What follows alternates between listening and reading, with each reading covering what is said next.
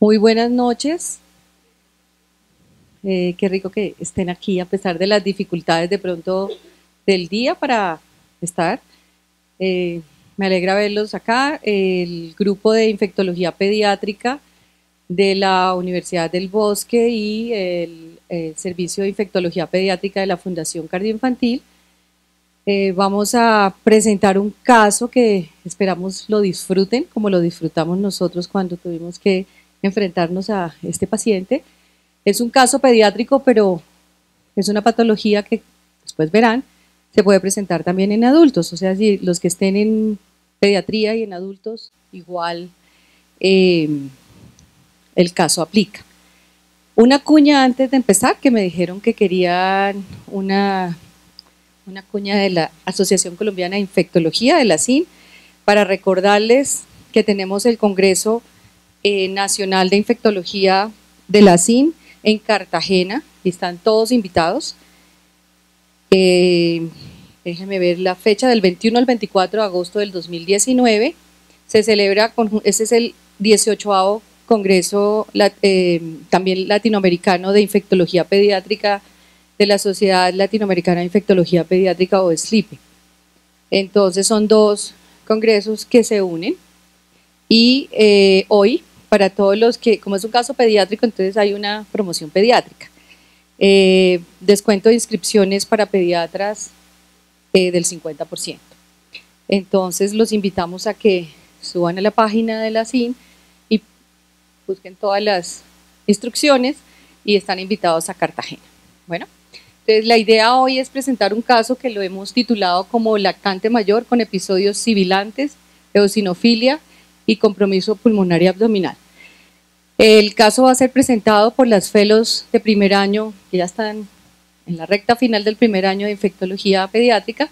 La doctora María Luisa Beltrán presentará el caso y la, ya la revisión del tema lo va a hacer la doctora Paula Arrao, que también es fellow de primer año. Entonces, vamos a comenzar. Aquí hay varias caras conocidas, estudiantes y residentes del Rosario que están con nosotros y también no solo del Rosario, también creo que hay de la Sabana, de todos los que van a la cardio y pues ustedes que son de todas partes, me imagino, de la Nacional, de, de, todas, de todos lados, bienvenidos. Entonces vamos a comenzar con el caso.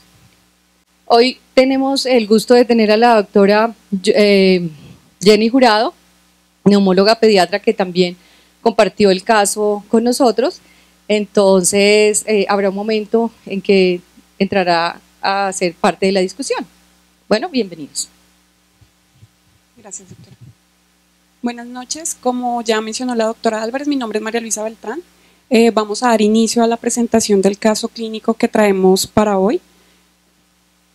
Eh, se trata de un paciente lactante mayor de sexo masculino de 22 meses de edad, natural y procedente de Saravena, Arauca, quien ingresó a la Fundación Neumológica para valoración por neumología pediátrica, eh, dado que tenía antecedente de múltiples episodios sibilantes recurrentes. Durante la valoración en neumología eh, se evidencia que el paciente se encuentra hipoxémico y con signos de dificultad respiratoria, motivo por el cual requiere ser derivado al servicio de urgencias pediátricas de la Fundación Cardioinfantil. Dentro del interrogatorio que se realizó al paciente, eh, pues se resaltaron algunos antecedentes de importancia. Eh, en cuanto a los antecedentes perinatales, encontramos que requirió al nacer hospitalización en la UCI natal durante 10 días por dificultad respiratoria con requerimientos de oxígeno suplementario.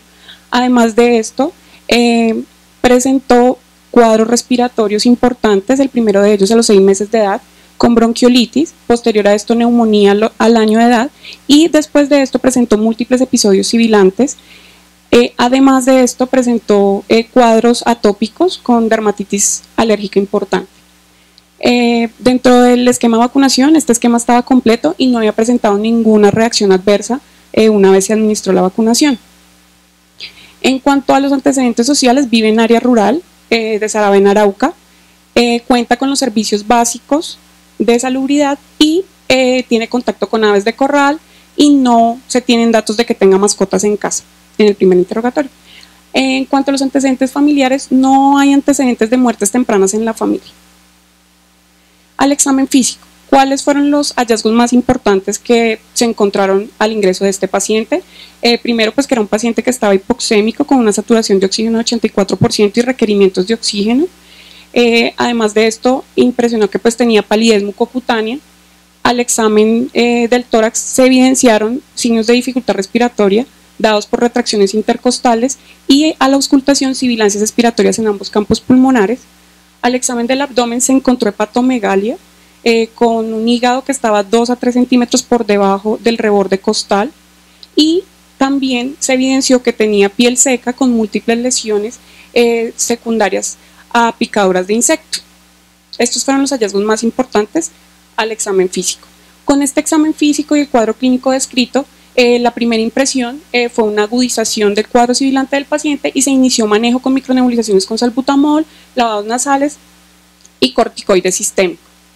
Además de esto, se solicitaron pues, estudios iniciales, dentro de los cuales eh, se tomaron ecografía abdominal total, radiografía de tórax, hemograma, PCR y función hepática.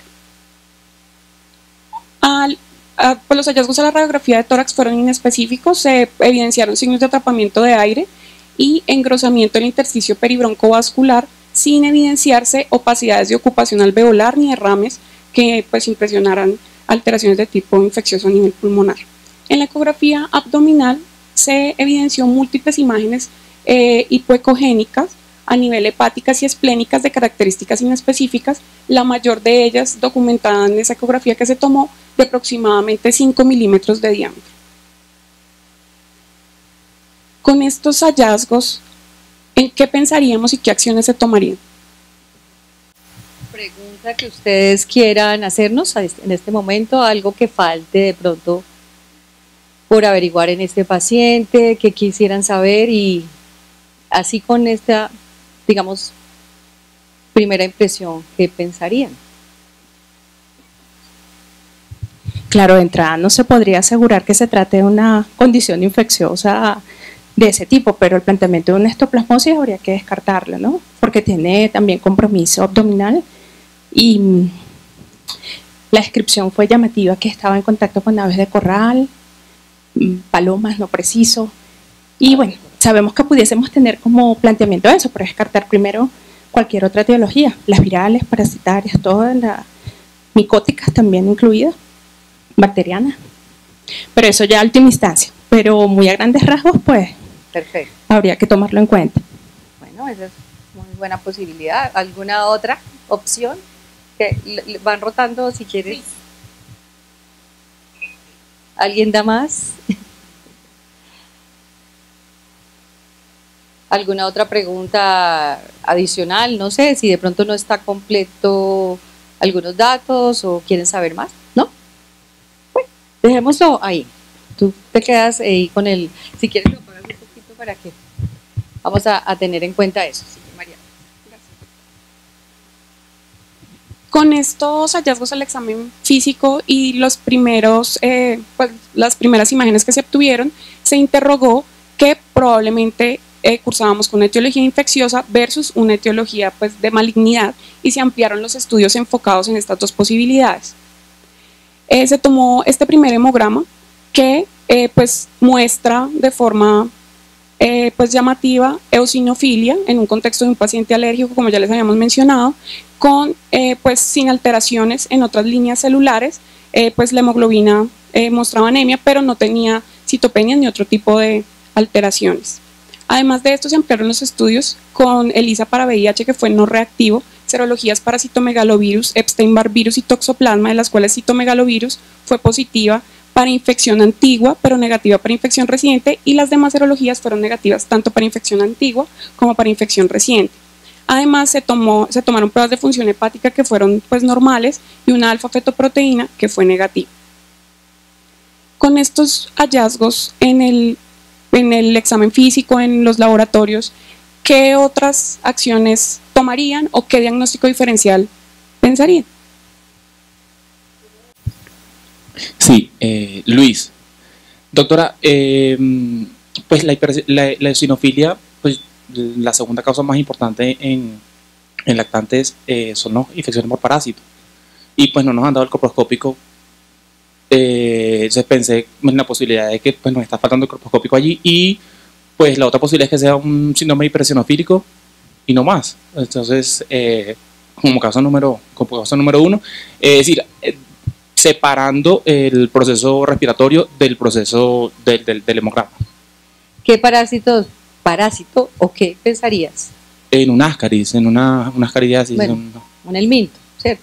un- en un elminto. Listo. ¿Pensarías en, en Ascaris? Bueno, otra buena posibilidad, me parece. ¿Alguien más? ¿Otra posibilidad? ¿Tú crees que los encontrarías en coproscópico? ¿Qué examen harías de pronto? No coproscópico, de pronto más un coprológico seriado, con concentración, ¿sí? Para, para buscar y, preguntar de pronto si han visto expulsar, porque los Ascaris normalmente presionan. A veces no los expulsan, pero a veces lo- la gente dice que sí, que los ve. Muy bien, es un buen planteamiento. ¿Y de, los síndromes eo- hi- hipereosinofílicos alguien pensaría posibilidades? ¿O a qué le llaman? Eh, hipereosinofílico. Todavía no entramos. No. Listo, vamos a seguir y vamos viendo qué pasa. Eh, se ampliaron los estudios paraclínicos, eh, dentro de ello también se pidieron inmunoglobulinas séricas que tuvieron pues niveles normales acorde de la edad del paciente, la inmunoglobulina A, G y M estuvieron en rangos normales, pero pues llamó la atención que la inmunoglobulina E pues sí tenía un valor eh, muy elevado en relación pues a los parámetros normales eh, para la edad de este paciente. Además de esto se tomó PPD que fue negativa de 0 milímetros. Se ampliaron los estudios con estudios de imagen, eh, con TAC de tórax. El TAC de tórax mostró múltiples nódulos con densidad de tejidos blandos, con distribución aleatoria, como pues están indicados eh, en las imágenes. Algunos de ellos, pues de todos eran de contornos irregulares, pero algunos de ellos tenían halo con vidrio esmerilado, como podemos ver en esta imagen, y en la siguiente que está acá, que pues tiene halo de vidrio esmerilado. Ese fue pues el hallazgo principal en la tomografía eh, de tórax. Con estos hallazgos, antes de que María, María Luisa siga, eh, pues para poder hacer el lavado broncoalveolar, la, la, eh, hubo una, una interconsulta, o desde el principio, pues era paciente de neumología pediátrica, pero eh, era de pediatría con seguimiento por neumología pediátrica e infecto también entró ahí, y pues eh, quisiera que la doctora Jenny nos ayudara a ver qué pensaban en ese momento. Bueno, buenas noches para todos. Em, este paciente, cuando lo conoce una colega nuestra en la consulta externa, viene con la historia característica de obstrucción bronquial, con episodios de tos, disnea y sibilancias manejados en múltiples oportunidades con salbutamol y adicionalmente traía en su historia un cuadro de tos relacionado con la risa, con el ejercicio, con el llanto, con los cambios bruscos de temperatura, además de sintomatología nasal. La impresión inicial que hace nuestra colega cuando lo ve en la consulta externa es, bueno, un paciente que tiene estas características, podríamos pensar en la probabilidad diagnóstica de asma también. Desde luego le llamó la atención mucho la hepatomegalia y ante la exacerbación que presentaba en ese momento, decide remitirlo para estudio en Fundación Cardioinfantil. Si nosotros recibimos un paciente sin tener en cuenta la hepatomegalia, podríamos decir que realmente cumple los criterios clínicos que permiten considerar el diagnóstico de asma, además de tener un índice de predicción de asma positivo, criterios GINA que también nos orientan a la, la presentación clínica característica de asma. Como dato llamativo, la mamá comentaba que en la cita de septiembre de 2018 de pediatría en su ciudad de origen le comentaron la importancia de usar terapia con beclometasona y había notado mejoría clínica de los síntomas y solo se exacerba un día antes de la consulta neumología. En la hospitalización somos interconsultados y en esta valoración inicial la colega que lo atiende también piensa como primera posibilidad en asma, pero desde luego con el transcurso de la evolución clínica y paraclínica y haciendo alusión al cuadro de eosinofilia, a tener una IG elevada y una hepatomegalia, al igual que la doctora, inicialmente se pensó en una histoplasmosis pulmonar y en la posibilidad de infecciones parasitarias que pudieran cursar con manifestaciones de múltiples órganos en piel, a nivel, a nivel hepático y a nivel respiratorio. Cuando se hace la tomografía por el servicio de pediatría y nos encontramos con los nódulos pulmonares, empezamos a mirar qué entidades podrían tener asociación de todas estas manifestaciones. Nos sostuvimos en la posibilidad de una histoplasmosis, Pensamos también en una aspergilosis broncopulmonar alérgica en el contexto de un paciente que podría venir evolucionando con un asma y nos encontramos con Marta. Y ahí pensamos en otra patología que ella ya les va a comentar. Entonces, en todo paciente con nódulos pulmonares es importante hacer un estudio de lavado broncoalveolar porque nos permite dar información acerca de la naturaleza del proceso inflamatorio, si es un proceso inflamatorio eosinofílico o neutrofílico, y asimismo nos podría ayudar a hacer aislamiento etiológico. Todavía no le vamos a decir qué es. Eh, como ya les mencionó la doctora, pues eh, fue, el paciente fue llevado a un lavado broncoalveolar. Estos fueron los hallazgos del lavado. Eh, estos son pues, los hallazgos del recuento celular en el lavado broncoalveolar. En las tinciones no, se, no hubo aislamiento para bacterias, micobacterias o hongos. Además de esto, en el lavado broncoalveolar se hizo un galactomanano que fue negativo y se hizo un galactomanano sérico que también fue negativo. Se hizo un látex para criptococo que fue negativo y se hizo un histoplasma en suero y orina, como ya les había mencionado la doctora Jenny, eh, como un diagnóstico pues, diferencial o presuntivo, y en ese momento del lavado broncoalveolar estaban pendientes los resultados. Esos eran los datos que teníamos hasta el momento. En cuanto a las coloraciones especiales, tampoco arrojaron eh, pues, la detección de ninguno de los, eh, ni de bacterias, hongos o, o micobacterias. Y además de esto se hizo pues hemograma de control que pues estas son los hallazgos de leucocitos, neutrófilos y linfocitos y estos son los hallazgos de eosinófilos que en relación al control anterior iban en aumento.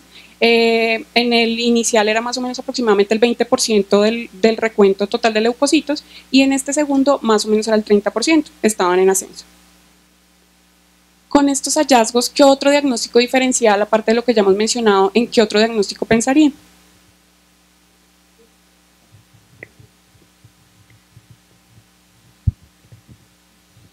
Pues yo estaba pensando también, ah, bueno, mi nombre es Joana, soy pediatra. Em, estaba pensando que pueden haber dos grandes etiologías, pues sigue siendo muy probable una etiología infecciosa y entre esas yo pensaba coccidomicosis porque em, aunque no es una enfermedad típicamente en pediatría y es más en pacientes inmunodeprimidos, a veces da un comportamiento de nódulos eh, en la tomografía pulmonar eh, y también creería que la sospecha de autoinmunidad debe considerarse.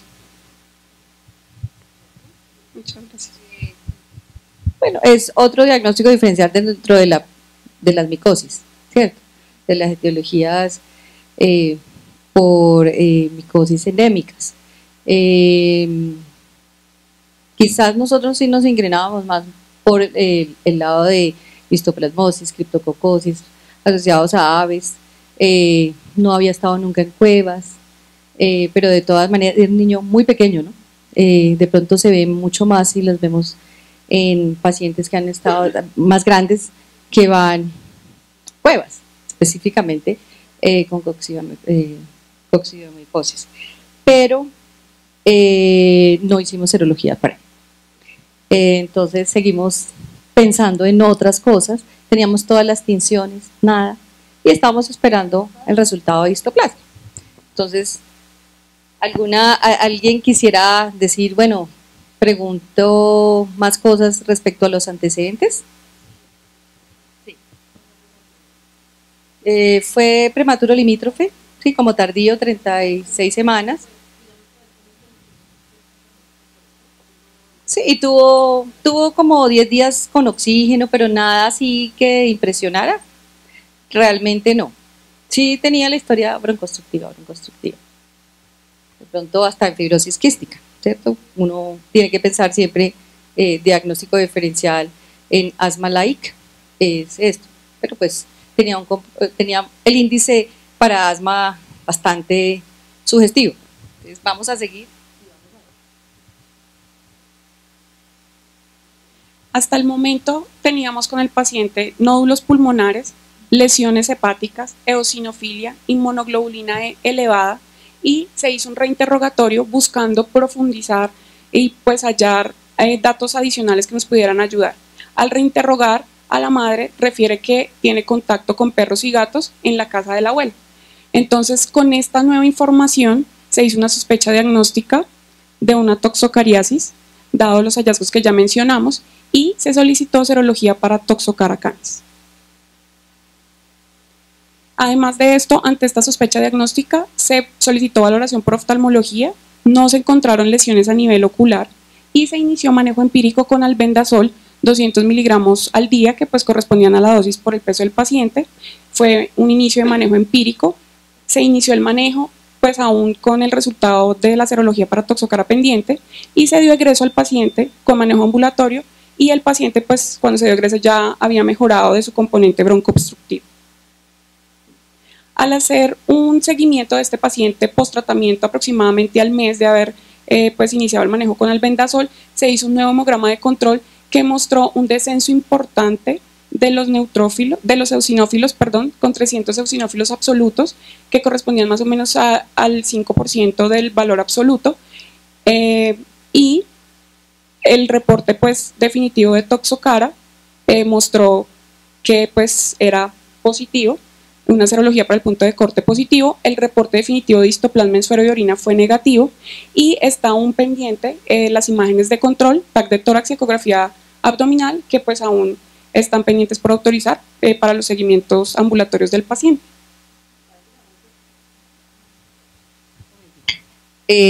Pues ese fue un ejercicio simpático, porque al principio pues no había historia de contacto con mascotas pero uno no se debe contentar con que solo en la casa.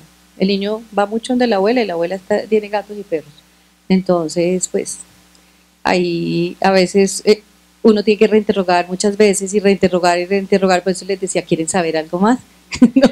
¿quieren saber algo más? Eh, Jenny. Bueno, otro dato que es importante para pensar en diagnósticos diferenciales es que nuestro paciente tenía una eosinofilia muy marcada.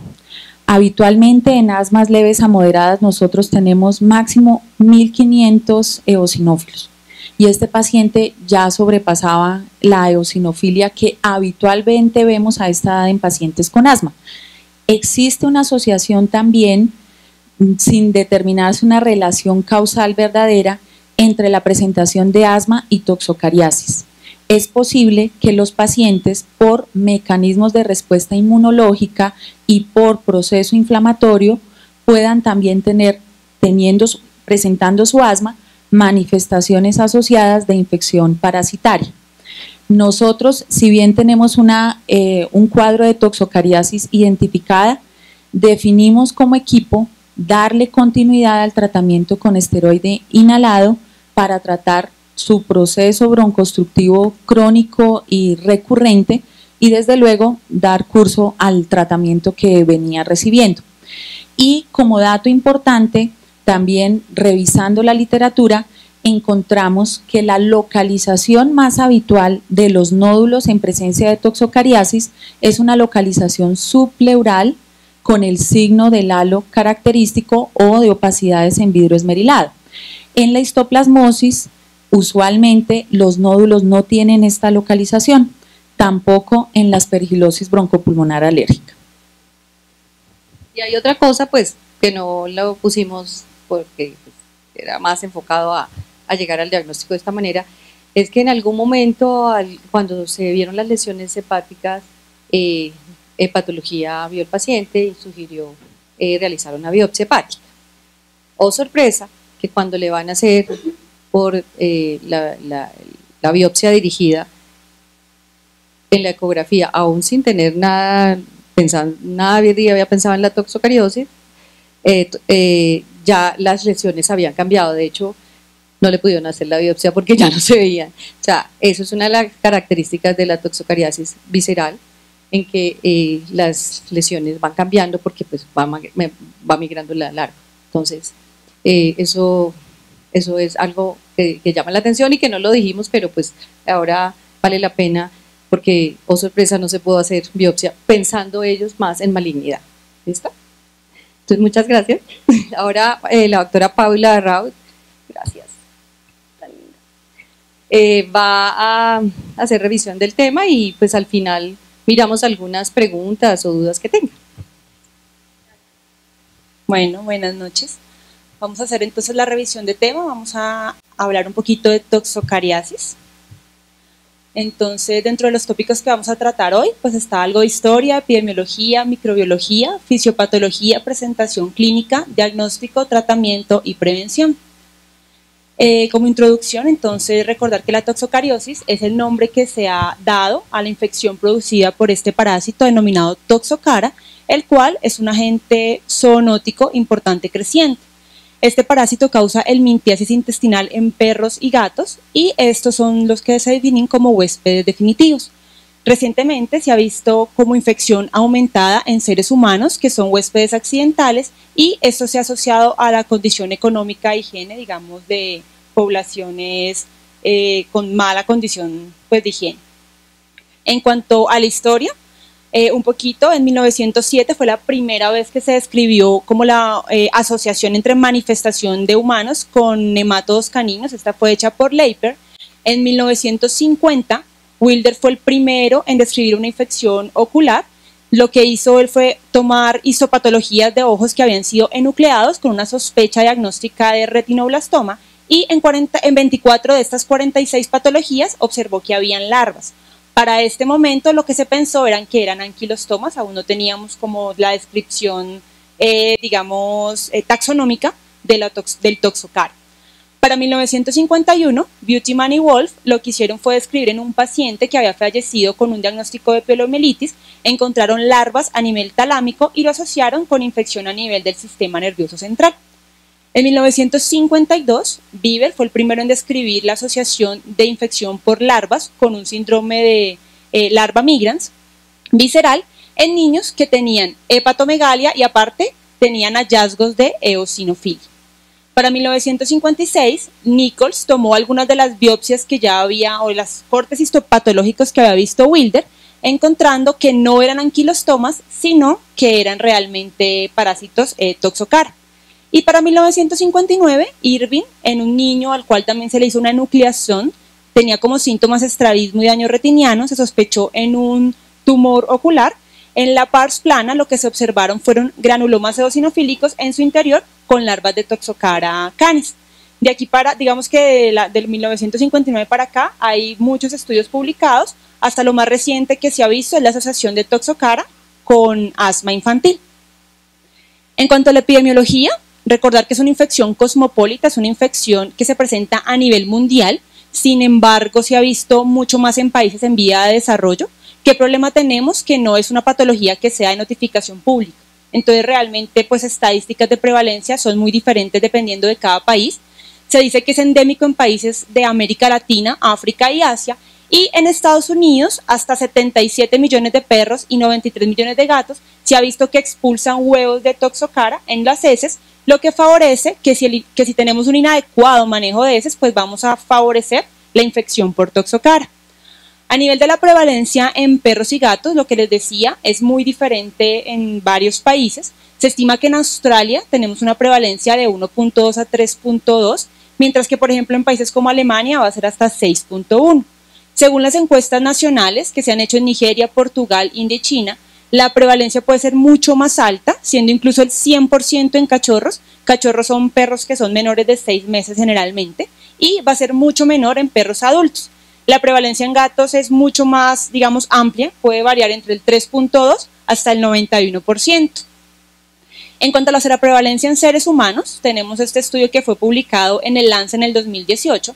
Lo que ellos cogieron fue coger encuestas de cada país, de, digamos de varios países a lo largo de 36 años y eh, va a buscar la cero prevalencia. Vemos cero prevalencias por encima del 60% en áreas que se encuentran a nivel del Pacífico Occidental, en algunas islas del Caribe y algunos países del África. Y prevalencias mucho más bajas en países como Estados Unidos, Marruecos, Dinamarca, Gran Bretaña, eh, Irán y Japón, como para mostrar algunos ejemplos. Como vemos, Colombia para este estudio pues no envió ningún tipo de encuesta que hubiera realizado en ese momento. Este estudio es un metaanálisis que se publicó en el 2018.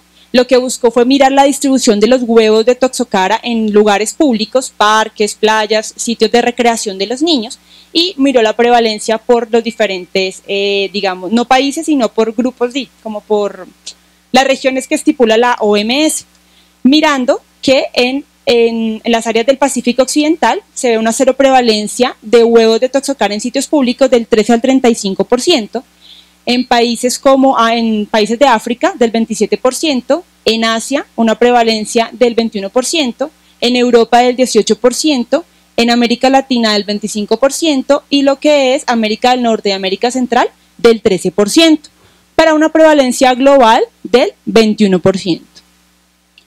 Eh, esas son estadísticas de Estados Unidos, la última encuesta de nutrición y salud que se hizo para 2011-2014 se tuvo en cuenta buscar la serología positiva para Toxocara. Hubo aproximadamente 13.500 participantes y de estos el 5.1% fue positivo para serología de Toxocara. Teniendo esa serología positiva, lo que se buscó fue los factores de riesgos asociados a tener infección por Toxocara y en menores de 18 años, lo único que realmente encontraron era no estar asegurado al sistema de salud pública de los Estados Unidos. Para la población adulta, de los 18 a los 60 años, sí se encontraron otros factores de riesgo, como es ser género masculino, tener un, eh, ser, digamos, de otra raza que no fuera ni blanca, ni negra, no hispánica, sino ser multicultural, que tuviera un bajo nivel educativo y aparte que tuviera un nivel de pobreza mucho más bajo que el estipulado para este país. En cuanto a Latinoamérica, este estudio publicado en el 2014, que cogió también varios estudios que se habían hecho en países de Latinoamérica como Venezuela, Brasil, incluso Colombia, se vio la prevalencia tanto en humanos como en perros, evidenciando que la toxocara canis en perros, eh, digamos, tenía una prevalencia también muy amplia, que variaba desde el 0 al 99.4%. Sin embargo, pues habían países que no reportaban esta, esta prevalencia. Para la prevalencia en humanos también era bastante amplia, entre 1.8 a 66.6%, siendo más alta en países como Venezuela y Colombia y mucho más baja en países como Chile. En cuanto a Colombia, digamos que hay varios estudios, sin embargo la mayoría son con poblaciones muy pequeñas. El primero que pues encontré reportado fue uno que se publicó en una revista de Río de Janeiro, fue realizado en 1990 por la Universidad Nacional de Colombia por el grupo de microbiología y parasitología, y lo que ellos trataron de determinar fue la prevalencia que había de toxocara tanto perros como en humanos en algunas regiones pobres de Bogotá. Lo que encontraron es que hay una prevalencia realmente alta de 47.5% que al compararla en ese momento con otros eh, países latinoamericanos, pues era bastante alta. Eh, aquí tenemos otro estudio publicado en Biomédica en el año 2000. También buscaron la cero prevalencia de anticuerpos de Toxocara canis y buscar qué factores de riesgo se asociaban a la infección en niños. Y fue en una población de Ciudad Bolívar. Se tuvieron niños entre los 4 y los 14 años, la población también fue pequeña. Fueron 193 niños y encontraron una cero prevalencia del 7.3% y una prevalencia en perros de Toxocara canis del 66%, siendo el principal factor de riesgo asociado a la infección el, no lavarse las manos frecuentemente, sobre todo cuando los niños salen a áreas de juego. Otro estudio, este un poco más reciente, del 2017, publicado en Biosalud, se hizo en la ciudad de Pasto. Es muy similar al eh, metaanálisis que vimos, lo que buscaron fue los huevos a nivel de sitios eh, de zonas verdes en conjuntos cerrados. Se tomaron 155 muestras y se debió que más o menos el 12.7% de estos sectores tenían huevos de toxocara y pues la gente realmente no tomaba ninguna medida para prevenir la, infección. ¿Qué factores de riesgo están asociados entonces a tener toxocariasis? Generalmente que haya suelo y agua contaminada, que tengamos alimentos contaminados con los huevos del toxocara. Tenemos factores socioecológicos como el comportamiento del hábitat, el estado socioeconómico bajo, un nivel educativo generalmente bajo y ser dueño de perro gato. se ha visto que más o menos el 23% de los perros y los gatos tienen huevos de toxocara alrededor de la región anal. Y dentro de los factores genéticos, la edad y el sexo, generalmente edades más pequeñas, sexo generalmente masculino, raza y etnicidad, digamos que no hay como tal una prevalencia, el único estudio que los muestra es en Estados Unidos, y el peso y el estado nutricional que van a repercutir sobre el estado inmunológico del paciente. En cuanto a la microbiología, entonces, ¿cómo se clasifica? El toxocasa hace parte de los helmintos, específicamente de los nematelmintos, estos se clasifican como gusanos eh, redondos, cilíndricos y se han descrito hasta el momento más o menos 21 especies de toxocara, siendo las principales y las que causan patología en humanos el toxocara canis, el toxocara catis. Tenemos otros toxocaras como el malayesensis, que produce infección en gatos, pero en la región de China y Malasia, el toxocara vitolorum, que va a producir infección a nivel de rumiantes, y el terópodis, que va a producir infección en los murciélagos. Este es el orden, digamos, taxonómico del toxocara. Pertenece al filum Nematoda, orden Ascaridida, familia Toxocaridae, género Toxocara y pues las dos especies que nos competen, el Canis y el Catis. Para hablar un poquito del, digamos, del nematelminto, se dice que eh, tiene dimorfismo sexual, es decir, está por separado el género, digamos, femenino y masculino. Todo su aparato digestivo, sistema excretor nervioso y reproductor va a ser completamente independiente ¿Cómo se van a diferenciar? La hembra es mucho más larga, puede llegar a medir hasta 15 centímetros con un diámetro de 2.5 a 3 milímetros y se va a diferenciar también porque en la parte caudal del macho generalmente va a terminar en forma curva. En cuanto a la patogénesis y fisiopatología, recordar que tenemos dos tipos de huésped, huésped definitivo y los huéspedes paraténicos o huéspedes accidentales. En los huéspedes accidentales nos encontramos los seres humanos y tenemos otros como los roedores, conejos y las aves.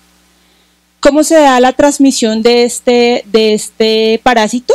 Las dos primeras que vemos, la transplacentaria y la lactogénica, son exclusivas de los huéspedes definitivos. La transplacentaria se da cuando eh, la hembra, digamos que está, o adquiere la infección durante la gestación o ya tiene algo de larvas a nivel de alguno de los tejidos.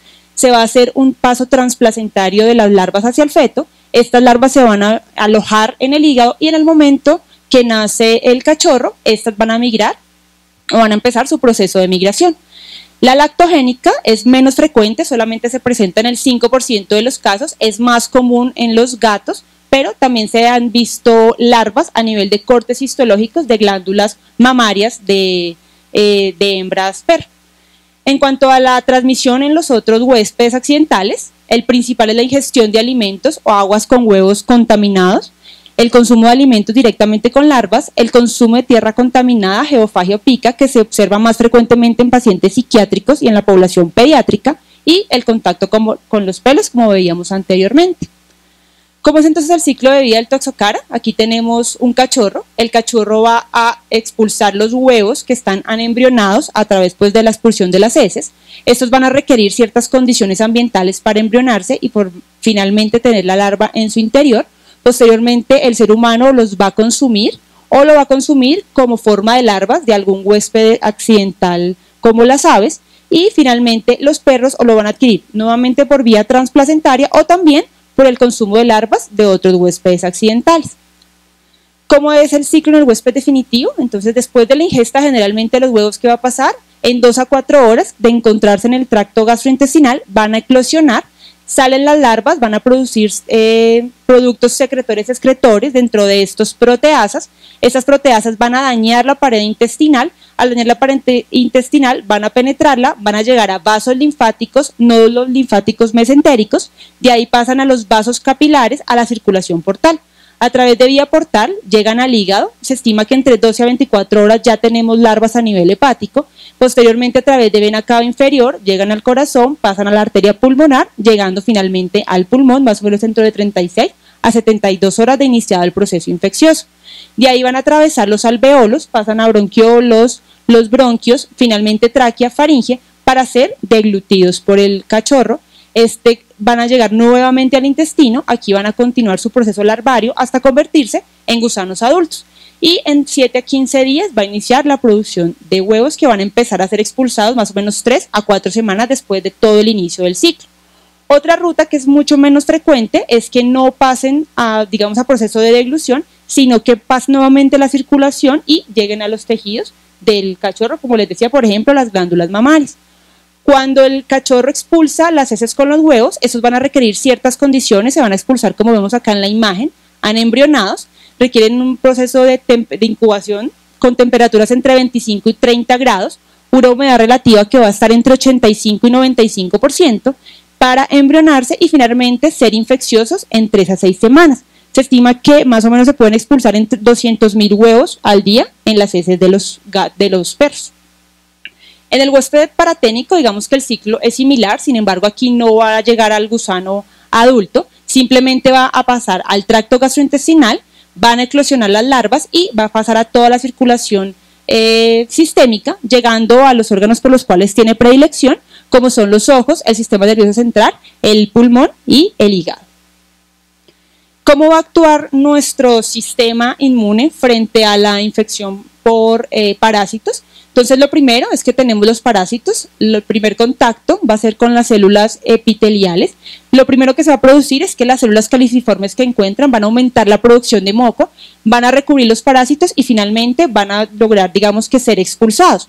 Sin embargo, pues no todos los parásitos van a ser expulsados por este medio, ellos van a producir sus productos de secreción-excreción, van a estimular las citoquinas denominadas alarminas, dentro de ellas la interleuquina 25, la interleuquina 33 y la TSLP, que es la linfoproteína estromal tímica, y estas tres interleuquinas lo que van a hacer es estimular todas las células, digamos que de nuestro organismo. Dentro de ellas, células dendríticas, vamos a estimular también las células eh, hematopoyéticas que se van a diferenciar en basófilos y macrófagos y van a actuar sobre los linfocitos innatos tipo 2, que a su vez van a eh, producir activación de eosinófilos, activación de monocitos a macrófagos y de neutrófilos. Aquí digamos que lo vemos más claramente, tenemos el elminto, él produce su antígeno, el antígeno va a ser capturado por la célula presentadora de antígeno, esta célula presentadora de antígeno va a actuar sobre linfocitos T nativos, estos linfocitos T nativos se van a diferenciar en linfocitos T reguladores y linfocitos T helper precursores. Estos linfocitos T precursores a su vez se diferencian en linfocitos T helper 2 y linfocitos T foliculares. Estos linfocitos T foliculares van a continuar dentro de los centros germinales para permitir la diferenciación a células eh, o a células B a través de la producción de interleuquina 4.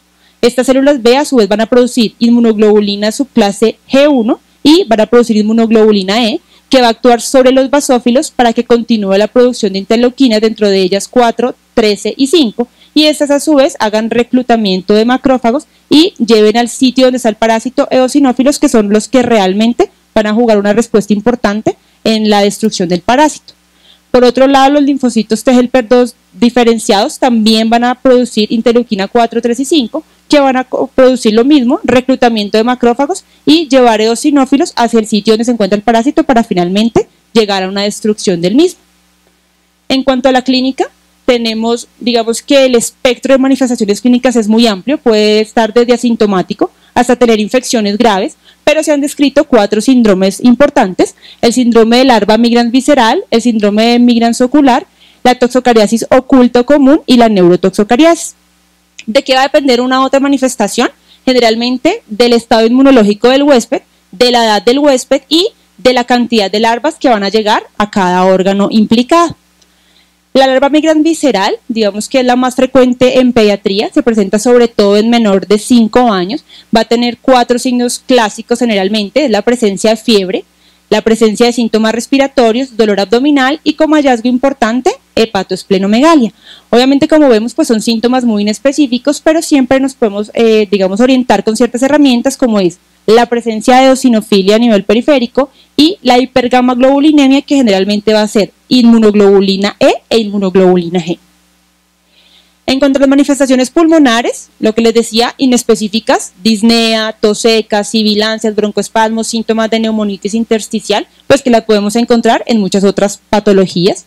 A nivel hepático, lo más común es encontrar hepatomegalia, dolor abdominal y en algunas ocasiones elevación de, de enzimas hepáticas, perdón. Y otras manifestaciones que se pueden presentar en la larva migrans visceral es el compromiso cardíaco. Traigo a colación esta revisión sistemática de la literatura donde se tuvieron en cuenta 24 casos reportados de infección por toxocara con manifestaciones eh, a nivel cardíaco donde los principales hallazgos fueron miocarditis, pericarditis, endocarditis e incluso había falla cardíaca, taponamiento cardíaco y esto llevó a la muerte de algunos de estos pacientes. Otros síntomas, polimiositis, mialgias, artritis y también se han visto manifestaciones cutáneas, lo que se denomina la toxocariasis cutánea, siendo los cuatro principales hallazgos el prurito, el prurigo crónico, la urticaria y el eczema. Como veíamos en nuestro paciente, él tenía algo de lesiones en piel que estaban, digamos, asociadas a las picaduras, pero pues no podemos descartar que fuera un prurigo crónico asociado también a toxocariasis.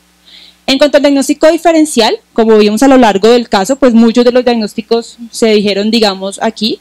Uno es la presencia de ascaris, que ya lo dijimos, estrongiloides o esquistosomas, que son otro tipo de mintos, la aspergilosis pulmonar alérgica, el síndrome de hiper, hiper-IgE, el síndrome de Loeffler y la enfermedad reumatosa crónica, aunque esta es pues mucho menos frecuente como diagnóstico diferencial. En cuanto a la larva migrans ocular, es más común verla en niños entre los 3 y los 16 años, más común también es unilateral y los principales signos que podemos encontrar o síntomas son leucocoria, estrabismo, vitritis y ceguera. Esto que nos lleva a que muchas veces el diagnóstico de toxocariasis puede incluso remitirlo el oftalmólogo por los hallazgos que va a encontrar a nivel oftalmológico. Se dice que cuando un paciente está con una infección ocular por toxocariasis y se hace un adecuado examen oftalmológico, se pueden ver a través de lámpara de hendidura células en la cama anterior hasta en el 73% de los casos y casi que en el 100% de los pacientes se podría ver celularidad aumentada a nivel del vitrio. Según los hallazgos oftalmológicos, se puede clasificar en tres grupos. Uno es el granuloma periférico, que vemos acá en esta imagen, el granuloma del polo posterior que vemos en esta imagen y finalmente la endoftalmitis eh, crónica. Digamos que la principal complicación de la migraña ocular es la ceguera que pues puede tener un porcentaje también alto de incidencia. En cuanto al diagnóstico diferencial importante, tumores oculares o retinoblastoma, vemos que en la historia muchos niños eran enucleados y pues después era que se hacía el diagnóstico de toxocariasis. Otro diagnóstico diferencial relevante es la, toxoplasmo, ay, perdón, la toxoplasmosis, la endoftalmitis y la uveitis, sobre todo de etiologías autoinmunes. En cuanto a neurotoxocariasis, digamos que es una de las manifestaciones más raras, generalmente no se sabe qué frecuencia real tenga esta manifestación, es más común en adultos de mediana edad. Y se estima que desde 1950 hasta la fecha solo hay 100 casos reportados de neurotoxocariosis a nivel de literatura mundial. ¿Cómo se manifiesta? Como cualquier otra patología del sistema nervioso central, meningitis, encefalitis, vasculitis o mielitis, pero también se ha visto eh, recientemente asociada a trastornos neurodegenerativos y trastornos cognitivos, pero pues hacer el diagnóstico va a ser muy difícil eh, de esta asociación. En cuanto a síntomas, cualquier síntoma igual que se pueda presentar en cualquier tipo de meningitis o encefalitis por otro tipo de infecciones, como vemos en la diapositiva. Y el último síndrome que se describe es la toxocariasis común o oculta. Esta fue descrita inicialmente por Taylor en 1987 teniendo, digamos, 14 pacientes a los cuales se encontró anticuerpos de toxocar elevados, pero los síntomas eran tan inespecíficos que no lo pudo encasillar como en ninguno de los anteriores eh, síndromes. Y desde aquí es que empieza a describirse la asociación que hay de toxocariasis con asma. Les traigo a colación este metaanálisis, es un metaanálisis que publicó en el 2018 en el Acta Trópica, había uno muy similar en el 2014 que arrojó, eh, digamos, resultados similares. Lo que se buscó aquí era mirar si los niños realmente infectados o con serologías positivas para toxocariasis si tenían alguna relación con asma o no tenían relación. Que se hizo una búsqueda en la literatura, en bases de datos como PubMed, Science Direct, bueno, en varias. Se llegó a un total inicial de 1997 estudios, pero después de hacer un score que ellos pues explican muy detalladamente ahí, eh, solamente se tuvieron en cuenta 17 estudios. De estos 17 estudios, 11 fueron de casos y controles, aquí pues están todas las características de los estudios y seis de ellos eran de corte transversal. ¿A qué conclusión se llegó? Aquí tenemos, digamos, la gráfica de la conclusión. Los primeros son los 11 estudios de casos y controles, viendo que realmente existía una asociación positiva entre el hecho de tener serología para toxocara y tener asma infantil, esto tenía un OR de 2.13 con, digamos que adecuados intervalos de confianza. Y para los estudios de corte transversal también se vio un OR, digamos, significativo que también eh, apoyaba la asociación entre toxocariasis y asma de 1.73 para una asociación total de 1.91 que si teníamos, no es que problema el estudio, pero sí los estudios algunos eran muy heterogéneos, entonces pues ellos recomiendan que obviamente dar una recomendación 100% pues no es adecuado, que se requieren como más estudios, sobre todo estudios prospectivos, para realmente determinar si hay una relación entre toxocariasis y asma. En cuanto al diagnóstico, importante, el diagnóstico definitivo de toxocariasis se va a hacer a través de examen histopatológico, la evaluación morfométrica de las larvas o la detección específica de ADN larvario, pero ¿qué problema tenemos? Casi nunca logramos detectar larvas a nivel de los tejidos. Simplemente vamos a ver una reacción eh, eosinofílica o granulomas eosinofílicos, pero pues hacer el estudio definitivo es mucho más difícil, además que sería un estudio que es bastante invasivo dependiendo del órgano donde se localice la infección. ¿Qué nos quedan como herramientas? Generalmente el diagnóstico va a ser, ya sea por la historia o por los antecedentes del paciente, por la clínica del paciente y algunos eh, test específicos como el hemograma, en el cual pues el principal hallazgo va a ser eosinofilia. Se describe que en la larva migrans visceral pueden haber hasta 10.000 células por milímetro cúbico, mientras que en la, en la toxocariasis oculta pues van a haber entre 1.500 células milímetro cúbico. Para neurotoxocariasis y toxocariasis ocular generalmente no encontramos eosinofilia ya que la infección se encuentra como compartimentalizada y es pues, más difícil que haga una manifestación a nivel sistémico, pero lo que recomiendan es que se tomen o se recuenten los eosinófilos tanto en líquido cefalorraquídeo como en humor acuoso y vitro, en los cuales pues también vamos a encontrar eosinofilia. ¿Qué otra herramienta tenemos? La cuantificación de la inmunoglobulina sérica. Se ha visto que en el 79% de los pacientes podemos tener inmunoglobulina positiva y con un valor promedio más o menos de 850 unidades eh, por litro. ¿Qué test más específicos tenemos? Los test de inmunodiagnóstico. Estos test, estos test lo que buscan es detectar los anticuerpos contra el antígeno de los productos secretores excretores del parásito. Se puede hacer por ELISA o se puede hacer por Western Blot. Se describe que la sensibilidad para el test de ELISA es entre el 91% y una especificidad del 86%. Lo que se recomienda es que cuando tenemos un test de ELISA positivo, inmediatamente se una, digamos que se trate de confirmar el diagnóstico con una segunda prueba que sería un Western Blot. Sin embargo, pues a veces es muy difícil realizarlo en nuestros centros de salud o en los hospitales. ¿Qué problema tenemos con este tipo de pruebas? Generalmente se pueden detectar anticuerpos residuales, lo que no nos permite diferenciar entre una infección que haya sido antigua y una infección que sea reciente. Se habla que por el ELISA se pueden detectar anticuerpos residuales, hasta 2.7 años después de la infección inicial y en Western Blot hasta 5 años después de la infección inicial.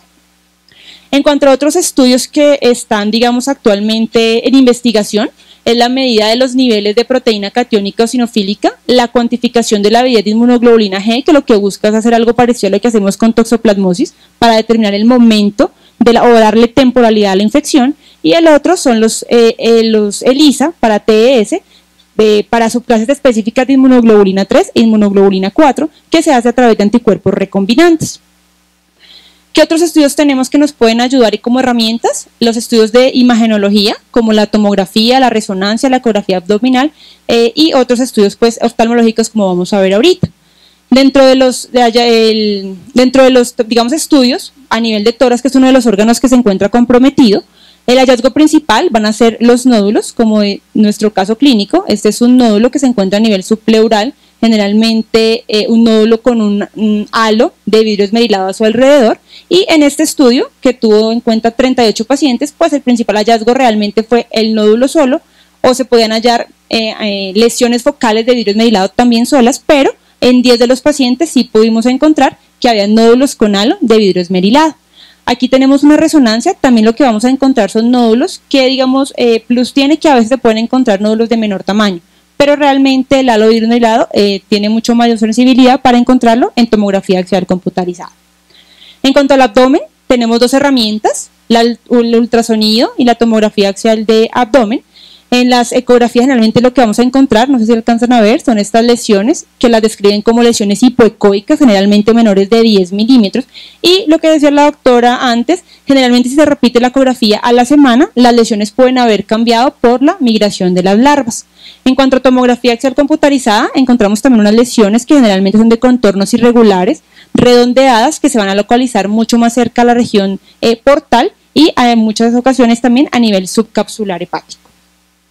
En cuanto al sistema nervioso central, tenemos como herramienta la resonancia. No es habitual, digamos, lo que les decía, esta manifestación, pero podemos encontrar eh, a nivel cerebral lesiones también nodulares, redondeadas, que generalmente se van a captar a nivel de secuencia T1. Y a nivel de médula también podemos tener algunos hallazgos que nos pueden sugerir infecciones asociadas a mielitis transversa. En cuanto a las herramientas que les decía oftalmológicas, existe la tomografía óptica y esta generalmente lo que hace es detectar granulomas a, nivel subretiniano que pueden encontrarse frecuentemente asociados eh, a toxocariasis ocular. En cuanto al tratamiento, eh, lo ideal del tratamiento es que alcance pues todos los órganos y tejidos, sobre todo cuando estamos frente a una larva migrans visceral y evitar la migración sobre todo a la región del sistema nervioso central y ocular pues para disminuir las eh, secuelas.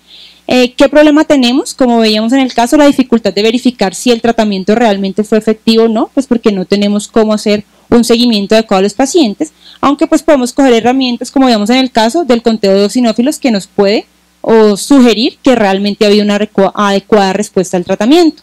¿Qué se está usando actualmente? El albendazol y el mebendazol son los, dos antihelmínticos más usados. ¿Qué se busca con esto? Generalmente con el vendasol, mejorar su biodisponibilidad y su absorción. ¿Cómo han visto que puede mejorarle? Asociado generalmente a alimentos grasos, entonces se recomienda consumir eh, después de alimentos grasos, pero también se han hecho estudios de asociación con polietilenglicol, algunos elementos liposomales e incluso con glucal, y lo que han visto es que este, por ejemplo, aquí en este estudio, se vio que el albendazol con esto puede aumentar la eficacia a nivel de penetrancia a nivel del sistema nervioso central hasta el 87%. Sin embargo, pues son estudios que todavía se están realizando. ¿Qué otras herramientas tenemos? Otros medicamentos, la dietilcarbamacina, sin embargo, no se recomienda para neurotoxocariasis ni para toxocariasis ocular, porque como vamos a ver, esta se hace generalmente el tratamiento al uso de corticoides y los corticoides van a disminuir la absorción de la dietilcarbamacina. Otros estudios que se han hecho con eh, productos, digamos, más naturales, el Xenopodium ambrosidis y el Nutridesintox, eh, son estudios que se han hecho y que han visto que paralizan la larva, pero son estudios netamente in vitro y pues no tenemos estudios en humanos para iniciar su, utilización. ¿Cuál es el tratamiento para larga migrans visceral? Generalmente lo que se recomienda es albendazol por 5 días a dosis de 400 miligramos dos veces al día o 15 miligramos por kilo al día para los pacientes pediátricos y neveldazol 100 a 200 miligramos también dos veces al día por 5 días. Hay algunos autores que plantean que este tiempo de 5 días es muy corto para el tratamiento. Algunos lo que hacen es que se puede repetir, como decir, la dosis posteriormente también por 5 días o incluso en Japón se han hecho estudios para dar tratamiento por 8 semanas y pues han visto que eh, eh, ha dado resultados. ¿Qué les preocupaba en, Japón, digamos, a los autores? Que hubiera aumento de los efectos adversos, pero realmente vieron en un estudio que realizaron que solamente un 15% manifestaban efectos adversos, siendo el principal elevación de enzimas hepáticas y que al momento de suspender el tratamiento, pues esto mejoraba completamente. Para neurotoxocariasis, ¿qué vamos a manejar? El albendazol más el uso de corticoides por 3 a 4 semanas. Y para la toxocariasis oculto común, el tratamiento es muy discutido, ya que no produce ningún tipo de sintomatología, solamente los anticuerpos positivos. Algunos autores dicen pues que no debería tratarse. ¿Quiénes están a favor? Los que indican que puede haber en cualquier momento una migración a nivel ocular y pues que puede generar una toxocariasis ocular. Para la larva migrans ocular también vamos a usar el antihelmíntico, el albendazol más corticoide por cuatro semanas, pero aquí cuando tenemos eh, otro tipo de compromiso como desprendimiento de retina o opacidad corneana, pues tenemos que hacer definitivamente un manejo quirúrgico. Si logramos eh, detectar la larva en la localización subretiniana, se pueden hacer tratamientos como fotocoagulación y recientemente se ha descrito el uso de ranibizumab, pero lo que hace esto realmente es dar un tratamiento para la neovascularización coroidea secundaria y evitar así la progresión a ceguera. Ya para terminar, la prevención, importante, el lavado de manos, como vimos, pues puede asociarse como factor de riesgo a adquirir la, infección. Otra es pues prohibir el ingreso de mascotas, sobre todo a los patios de recreo donde juegan los niños, que generalmente pues tocan el pasto, tocan la arenera y pues no se lavan adecuadamente las manos. Eh, digamos, educar a las personas que tienen mascotas para que recojan los excrementos y pues los desechen adecuadamente y la visita al veterinario periódicamente para que a la mascota pues se le dé el antiparasitario adecuado. Como conclusiones, entonces recordar que es una zoonosis cosmopolita, desatendida, sin notificación pública, pero cada vez más creciente en los países en vías de desarrollo en el cual se encuentra Colombia. Tiene una prevalencia muy variable, como vimos, la clínica es variable, el diagnóstico es complejo y muchas veces no podemos llegar a un diagnóstico definitivo. El seguimiento y la respuesta al manejo pues va a ser difícil como vimos por la presencia de anticuerpos residuales y pues definitivamente debemos mejorar la prevención para disminuir la carga de esta enfermedad. Muchas gracias.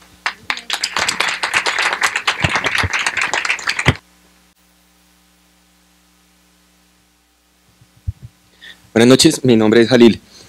Eh, yo tengo una preguntita. ¿Cuál es la probabilidad de que encontremos varios escenarios o varios síndromes eh, pues, asociados? O sea, porque, bueno, llegué un poco tarde, no alcancé a escuchar bien el inicio del caso clínico, pero pues lo que me alcancé a enfocar y después con la, con la muy buena revisión que se hizo, ¿por qué no sospechar algo neurológico así no hubieran síntomas? Sabemos que este parásito tiene predilección por sistema nervioso central, ¿por qué no como descartarlo y evitar de pronto pues alguna asociación o una complicación futura sabiendo pues lo que digo, de pronto si encontramos nódulos hepáticos, pulmonares, el paciente ingresa con una clínica ya entendiendo lo típica de una parte respiratoria, pero ¿por qué no, ya que se hicieron estudios para eso, ¿por qué no descartar compromiso del sistema nervioso central? Oh, y, pues la pregunta es la probabilidad de eh, si es posible tener eh, infección, digamos, eh, visceral asociada a, del sistema nervioso central. Gracias.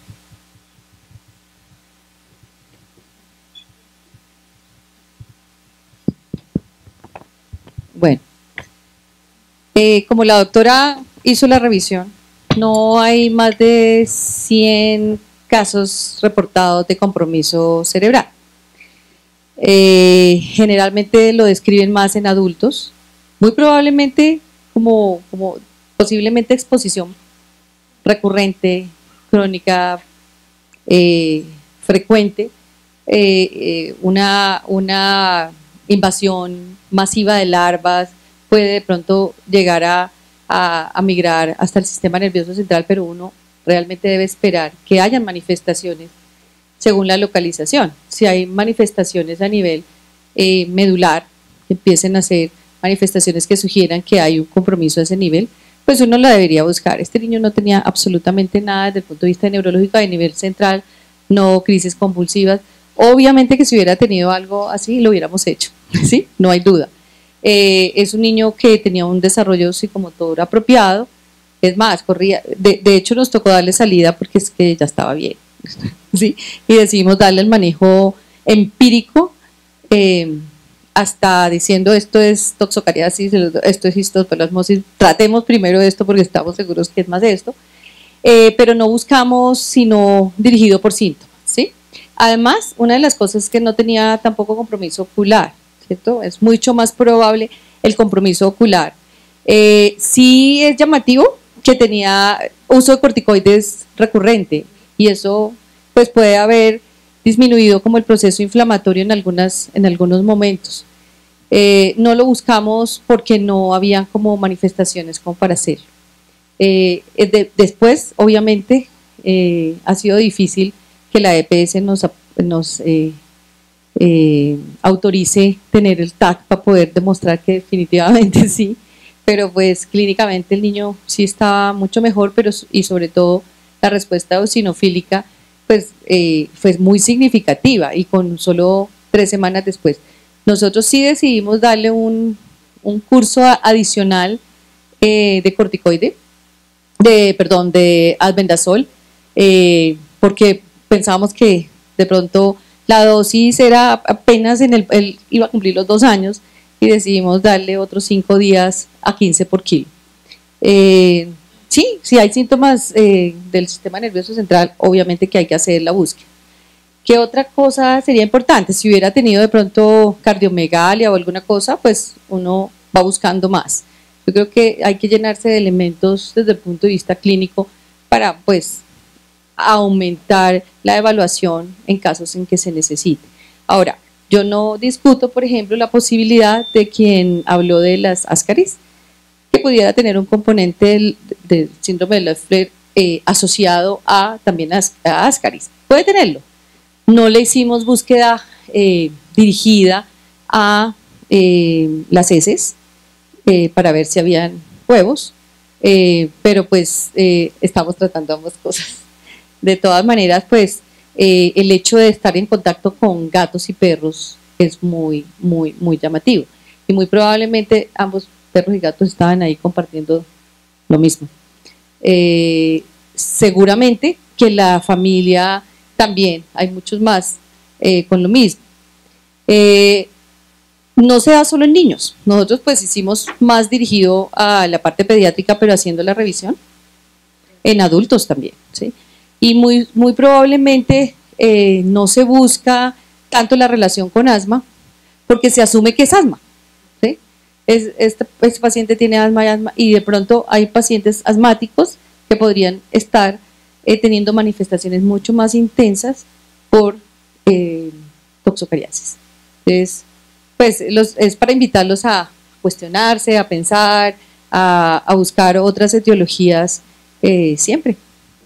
De todas maneras, muchas gracias y que hayan disfrutado el caso.